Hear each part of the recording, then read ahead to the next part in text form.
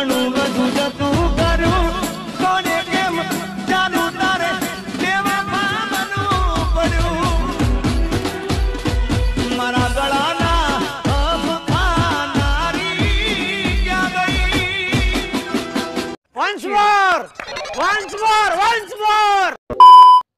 નમસ્કાર મિત્રો વીડીટેક ગુજરાતીમાં તમારું સ્વાગત છે. તો મિત્રો, વિડીયોની સ્ટાર્ટિંગમાં તમે જે પ્રકારનું જિગ્નેશ કવિરાજનું વોટ્સઅપ સ્ટેટસ દેખ્યું તે પ્રકારનું વોટ્સઅપ સ્ટેટસ આજે આપણે બનાવતા શીખીશું.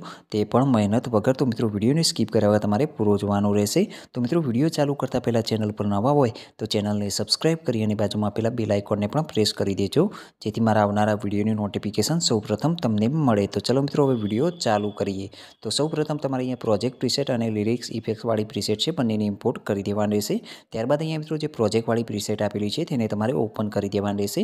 ઓપન કર્યા બાદ અહીંયા મિત્રો તમારી સામે એક આવી રીતે ઇન્ટરફેસ ખુલશે તો અહીંયા આપણે જે ઇમેજ છે તેને એડ કરવાનું રહેશે. તો ઇમેજને એડ કરવા માટે અહીંયા જે પ્લસવાળો આઇકોન આપેલું છે તેના પર તમારે ક્લિક કરી દેવાનું રહેશે. ક્લિક કર્યા બાદ અહીંયા જે ઇમેજ એન્ડ વીડિયો ઓપ્શન આપેલું છે તેના પર ક્લિક કરી અહીંયા તમારે ઇમેજને સિલેક્ટ કરી દેવાનું રહેશે. તો અહીંયા હું ઇમેજને સિલેક્ટ કરી લઉં છું. તો અહીંયા મિત્રો જોઈ શકો છો કે મેં જે ઇમેજ છે તે સિલેક્ટ કરી દીધું છે. ત્યારબાદ હવે તમારે અહીંયા જે સ્ટેટસ છે તેની લાસ્ટમાં જઈ અહીંયા જે ઓપ્શન આપેલું છે તેના પર ક્લિક કરશો. તો જે ઇમેજ છે તેની લંબાઈ સ્ટેટસની લંબાઈ પ્રમાણે થઈ જશે.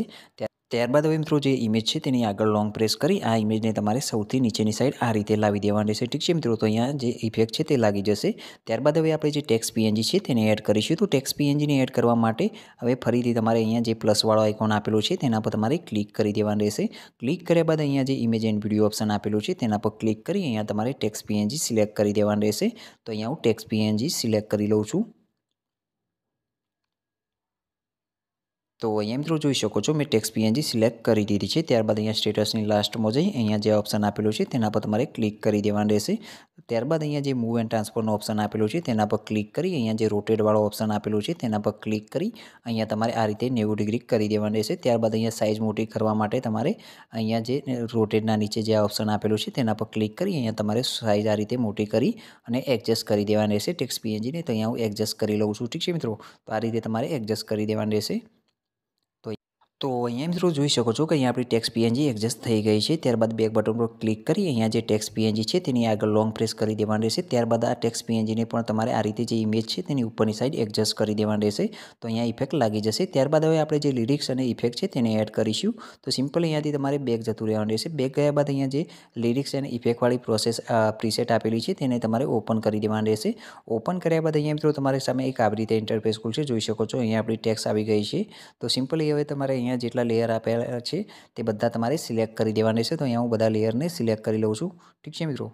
તો આ રીતે તમારે જે આંખવાળો ઓપ્શન આપેલો છે, તેના પર લોંગ પ્રેસ કરી અને આ રીતે તમારે બધી લેયર સિલેક્ટ કરી દેવાની રહેશે તો અહીંયા હું સિલેક્ટ કરી લઉં છું.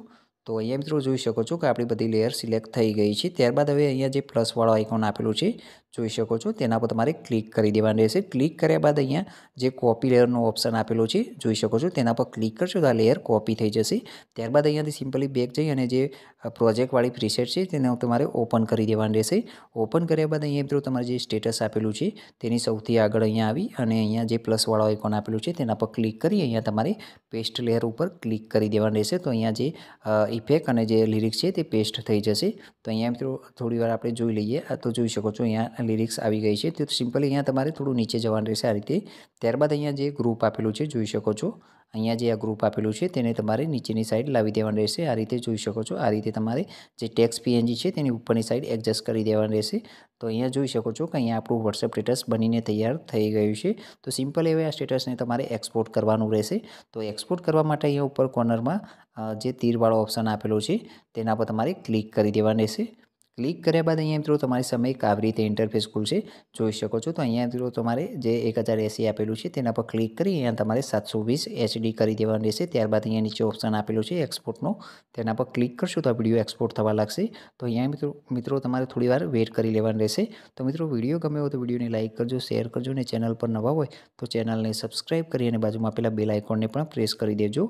જેથી મારા આવનારા વિડીયોની નોટિફિકેશન સૌપ્રથમ તમને મળે તો મળીએ નેક્સ્ટ વિડીયોમાં જય હિન્દ, જય ભારત.